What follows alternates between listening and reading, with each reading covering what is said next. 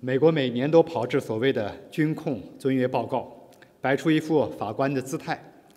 对他国军控和防扩散政策和实践指手画脚，将自身标榜为模范，这十分荒唐。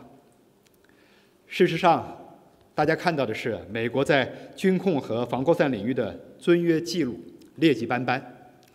近年来，美国对国际军控条约和机制采取利则用、不利则弃的实用主义态度，接连退出中导条约、开放天空条约、撤销签署武器贸易条约，在伊朗核问题上反反复复。美向澳大利亚这个无核武器国家提供核潜艇技术。合作开发高超音速武器，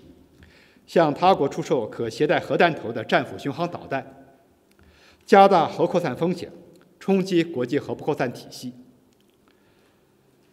美国独家阻挡禁止生物武器公约核查议定中谈判，并在全球设立生物实验室，开展生物军事活动。美国还是唯一没有完成库存化学武器销毁的禁止化学武器公约的缔约国。美方所作所为严重破坏全球战略平衡与稳定，阻碍国际军控与裁军进程，受到国际社会的普遍谴责。美方不反躬自省，反而不断向其他国家泼脏水，实质是为自身摆脱条约义务制造借口，寻找替罪羊。对此，国际社会包括美国的有识之士都看得十分清楚。需要指出的是，美方对中国的指责纯系捕风捉影。子虚乌有，中方一贯本着负责任的态度，认真履行自身承担的国际义务和承诺，坚定致力于多边主义，始终坚持维护以联合国为核心的国际体系和以国际法为基础的国际秩序。近年来，中国积极参与不扩散核武器条约、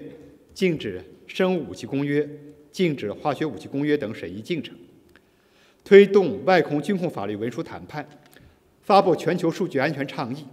向联合国提交关于规范人工智能军事应用的立场文件，为加强和完善国际军控与反扩散反扩散体系，维护世界和平安全做出了重要贡献。在遵守军控条约方面，中美两国的表现孰优孰劣，国际社会自有公论。